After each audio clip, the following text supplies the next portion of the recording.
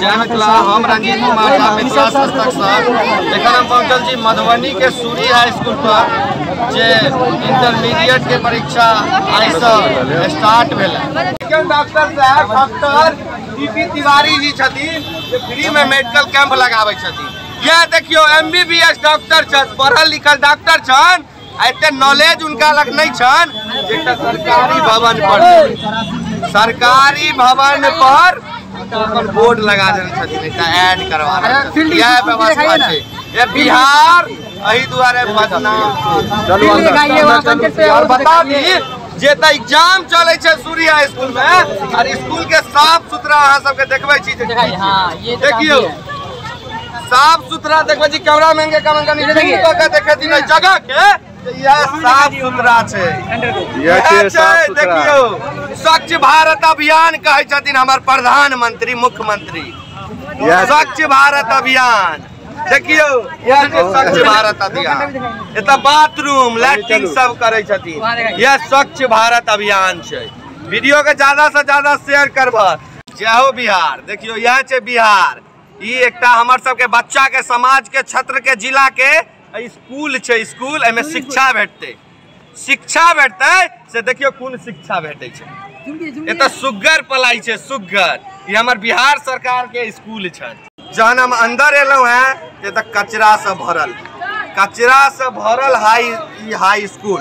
और एते गंदगी जे बता नहीं सकै छी एकटा मेन गेट एतऽ नहीं छै।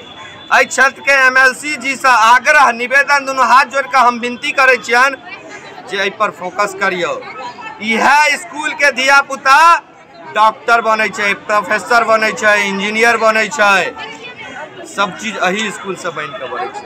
आइ में बिहार के बच्चा ऊंच ऊंच लेवल पर पहुंचल बिहार के बच्चा, लेकिन बिहारक स्कूल में पढ़ के नहीं। दिल्ली में जाकर मुंबई में जाकर कोलकाता में जाकर वही सब कॉलेज वही सब स्कूल में पढ़ै ताहि दुआरे हमर बिहार में एहन व्यवस्था किया नहीं? आइ प्राइवेट स्कूल में पढ़ल है दिल्ली आर मुंबई जाइ छै। लेकिन बिहार में सरकारी स्कूल में नहीं पढ़े छै।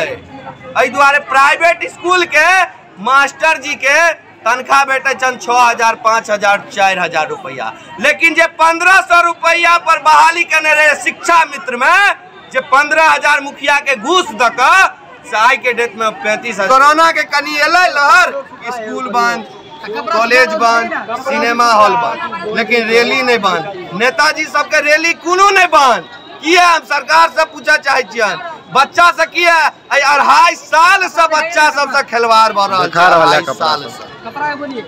तो हम रंजीत कुमार झा कैमरा कैमरामैन नगेंद्र कुमार के साथ मिथिला सस्तक में सबगोटा के प्रणाम करे छी गोर लागे छी। हमर यूट्यूब चैनल है मिथिला सस्तक तकरा सब्सक्राइब ज़रूर करबै। नीक लागत। तहन सब्सक्राइब करब। नहीं निक लागत तो अनलाइक करब।